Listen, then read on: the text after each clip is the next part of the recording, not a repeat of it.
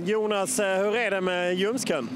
Eh, ja, men det är väl eh, inte så farligt, men jag började väl lite för tidigt där. Eh, tänkte lite för mycket med hjärtat istället för hjärnan tror jag. Så att, eh, får rehab någon vecka till, sen får vi se. Vad är prognosen för att vara tillbaka i spel? Eh, ja, det är en bra fråga. Jag tror väl att man får akta sig nu för att inte gå på för tidigt. Samtidigt så tror jag inte det är någonting som kräver längre rehab. Så vecka, tio dagar kanske. Hur mycket kan det påverka kring eh, underlag? Det är ju en del konstgräs. Jag tror det påverkar på det sättet att eh, ja, allting är ganska nytt. Jag har spelat på gräs innan. Jag trivs ganska bra. Jag tycker det är skönt att spela på konstgräset, men det är ju någonting annorlunda. Träningsrutiner och så vidare är annorlunda. Så att, eh, det är nog mer det, utan att säga om det är bättre eller sämre. Utan det är bara att det är annorlunda. Så jag tror att det är en stor faktor. Hur lång tid tar det för dig att återhämta dig efter en match på konstgräs? Men det- har jag faktiskt känt, eh, nu har jag inte spelat så mycket, men eh, det känns som att jag har varit fräschare i, veckan sen efter, efter en match på konstgräs konst, kontra gräs. Du har ju tagit klivet från Premier League eh, egentligen rätt direkt till Allsvenskan, även om du satt en del på bänken i West Brom. Hur tycker du Allsvenskan liksom står sig? Hur, mycket, hur många steg ner är det på trappan?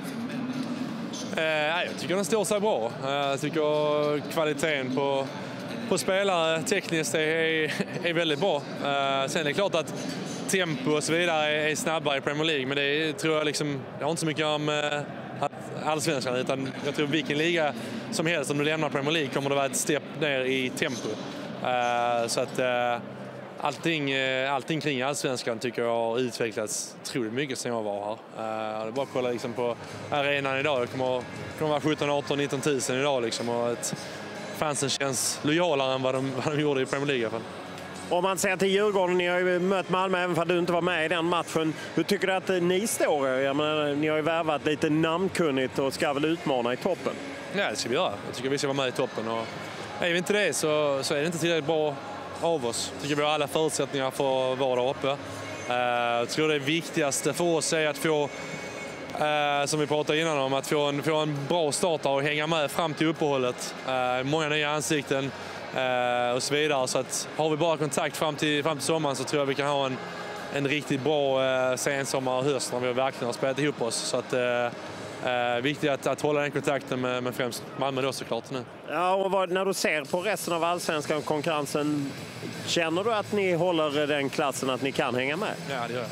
Ja, jag Eh, ja, det säger jag med både hjärtat och hjärnan. Men jag, jag har aldrig gillat det här ödmjuka svenska sättet att närma sig en, en målsättning. Jag tycker att målsättningen ska vara, vi ska vara med i toppen. Liksom, och, eh, annars sätter man bara onödiga, onödiga mentala barriärer. Liksom, så. Vi har material att vara med där uppe och det ska vi vara också. Eh, och kan vi ta en, eh, ett fint resultat här idag så, så är vi där uppe också. Liksom, så, så att, eh, eh, tycker vi har alla förutsättningar för att, för att vara med i toppen. Vad är din bild av Özcan Melker Michel? Eh, Har han fått ihop det? Många nya spelare på kort tid. Mm. Ja, det, är också, det är också en ny situation för honom eh, såklart.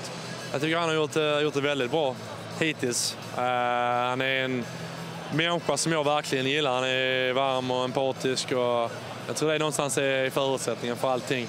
Eh, jag tror även han, liksom, när han blir ännu mer varm i kläderna så, så, så kommer han ta en ännu tydligare roll än vad han gör nu. Eh, och, som sagt, han har gruppen med sig till 100 procent och fått en eh, okej start poängmässigt också. Som sagt, kan vi ta en, en, en, eh, en, en trea idag så, så tycker jag 10 poäng på, eh, på, på sex matcher är en, eh, en, eh, en väldigt bra start. Så att, han, han har börjat bra också.